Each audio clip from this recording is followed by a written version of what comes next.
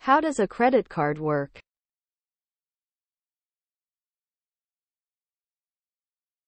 A credit card is a widely used financial tool that allows individuals to borrow money from a bank or financial institution to make purchases.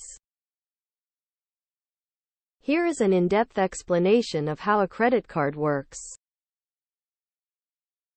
Application. To obtain a credit card, you need to apply for one with a bank or credit card issuer.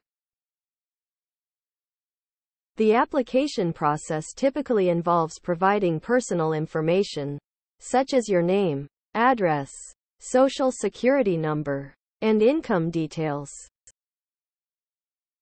The bank will evaluate your creditworthiness by checking your credit history and income level. Credit limit. Once your application is approved, the bank assigns you a credit limit, which is the maximum amount of money you can borrow on the card. This limit is determined based on factors like your credit score, income, and existing debts. Card activation. Upon receiving the credit card, you usually need to activate it by following the instructions provided by the issuer. Activation may involve calling a toll-free number or going online to verify your identity. Card usage. Once activated, you can use your credit card to make purchases at various merchants, both online and in physical stores. You provide the card details, including the card number, expiration date, and security code. CVV, CVC. To complete the transaction. Billing cycle. Each credit card has a billing cycle, which is typically a 30-day period during which your purchases are tracked. At the end of the billing cycle, the credit card issuer generates a statement that details all the transactions made during that period. Minimum payment. The credit card statement will indicate a minimum payment amount, which is the smallest amount you need to pay by the due date to avoid late fees and penalties. This payment typically represents a small percentage of your total outstanding balance.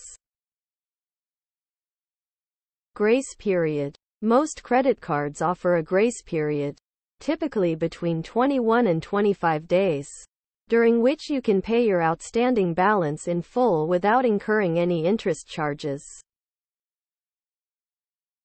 If you pay your balance in full within this period, you won't have to pay any interest on your purchases.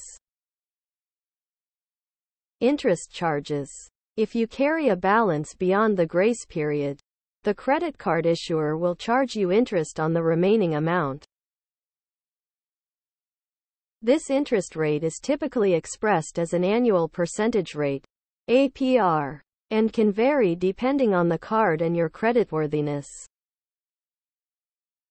Rewards and benefits. Many credit cards offer rewards programs, which allow you to earn points, cashback, or other incentives for your purchases. These rewards can be redeemed for various perks such as travel discounts, gift cards, or statement credits. Credit score impact. Your credit card usage and payment history can affect your credit score. Timely payments and responsible credit utilization can help improve your credit score, while late payments and high levels of debt can have a negative impact. Additional fees. Apart from interest charges, credit cards may have other fees, such as annual fees, balance transfer fees, foreign transaction fees, and cash advance fees. It's important to read the terms and conditions of your credit card to understand these fees. Security measures.